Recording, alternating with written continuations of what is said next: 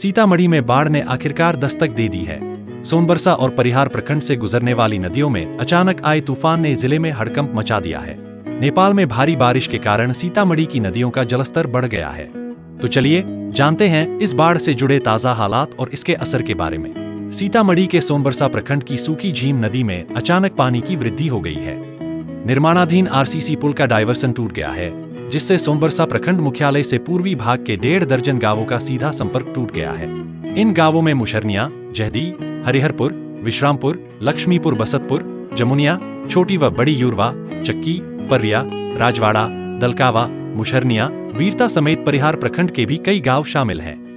Diversion टूटने के कारण अब इन गाँवों के लोग लगभग पाँच से छह किलोमीटर की दूरी तय कर दूसरे रास्ते से जा सकते हैं। पुरंदाहा राजबाड़ा पश्चिमी पंचायत के लालबंदी गाँव स्थित ब्रहास्थान के समीप सोमबरसा से पुरंदाहा राजबाड़ा पथ पर नदी का पानी बह रहा है, जिससे लोगों को परेशानी हो रही है। परिहार प्रखंड से गुजरने वाली हरदी नदी में भी इस सीज़न की पहली बाढ़ आ गई है। हरदी नदी के जलस्तर में वृद्धि होने से परवाहा लालबंदी पथ पर पानी चढ़ गया है।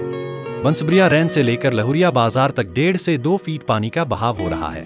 बारह बंसब्रिया लहुरिया, खुरसाहा आदि गाँव में बाढ़ का पानी प्रवेश कर गया है। जिससे कई गाँवों में खेतों और सरेह में भी पानी फैल गया है।